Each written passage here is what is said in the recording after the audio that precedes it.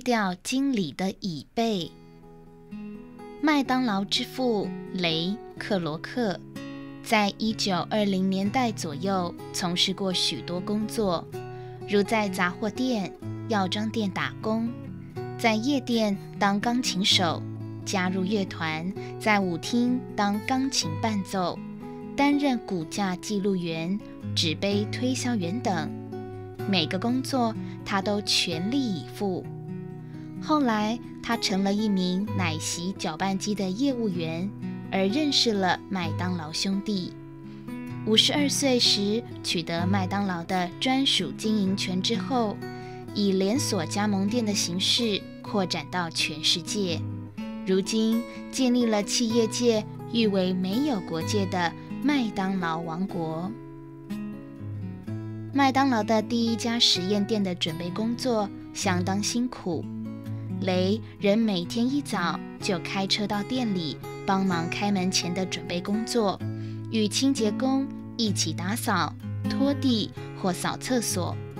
雷不喜欢坐在办公室发号施令，把他百分之六十以上的工作时间都用于走动管理，通过到各公司、各部门进行实地考察，他会从中发现很多问题。然后及时加以解决。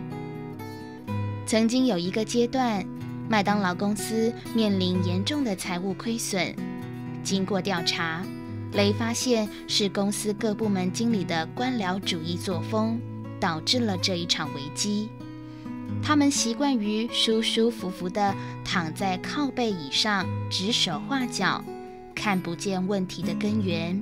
把许多时间耗费在空谈和相互推诿上，雷为此寝食不安。他觉得扭转这种积弊，仅靠发几个老生常谈的公告，或者板着脸进行几次训话是解决不了的。为了彻底清除经理们的堕态习气，雷想出了一个奇招。他向各地麦当劳快餐店发出一份紧急指示，把所有经理椅子被锯掉，立即执行。所有的人都疑惑不解，他们不知道总裁的用意何在。